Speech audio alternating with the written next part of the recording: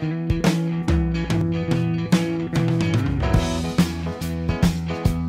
eat it how you like to eat it, all right? Put it in your mouth.